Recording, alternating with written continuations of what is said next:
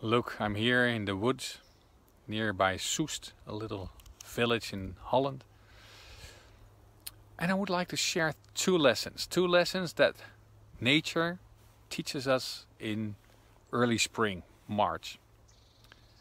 And here in the Netherlands in March, everything seems, well, dead or not alive.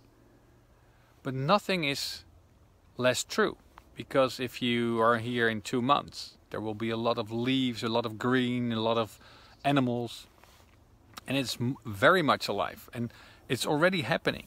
There's a lot of activity in the roots. There's already a lot of activity in, inside the plants. And the same is true for your business. A lot is already happening without you knowing it, without you controlling it, without you planning it. And why don't we trust that? Why don't we surf on that flow that is already happening without us, without us intervening. So the lesson is be aware of that what is already happening without you seeing it or noticing it. For example, a client of mine said, I've been on your mailing list for about six years and just now I decided to join a workshop.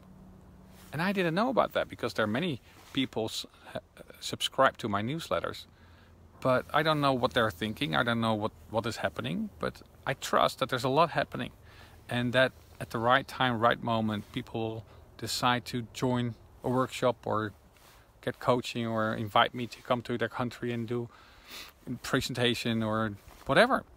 So trust in this natural flow.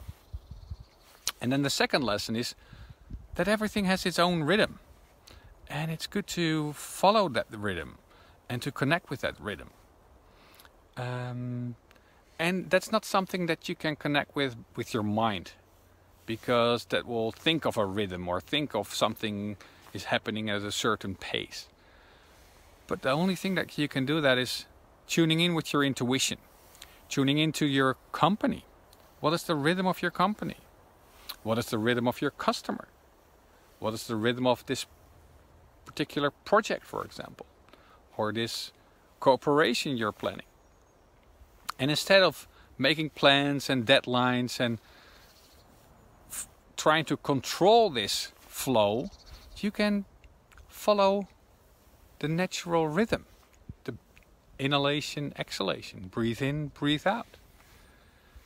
And then you can find out, okay, so does this moment require more action or less action? Does it require standing still or does it require hurry up a little?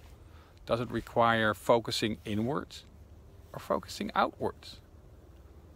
And if you do that, you will find out that it's much easier to get things accomplished because you follow the natural rhythm of the business, of your client, of the project. And the natural natural rhythm will make it a lot easier to get things done. And then there's one tip for following this rhythm is um, that you need to be aware of all the rhythms we have created that are not natural, like the rhythm of annual reports, the rhythm of quarters, the rhythm of months, the rhythm maybe even of hours and days. So these all create this artificial rhythm and they might intervene with the natural rhythm. So please be aware of what is the natural rhythm of yourself, your company, and, and all the other things you're working with. And I'm wondering what would happen if you really follow that nat natural rhythm. I wish you a lot of fun.